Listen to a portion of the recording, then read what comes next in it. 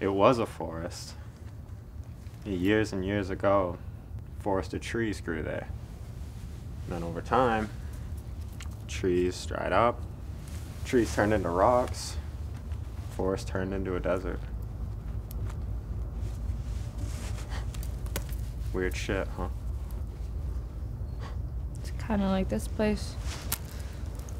Instead of trees, it's people. We have petrified humans.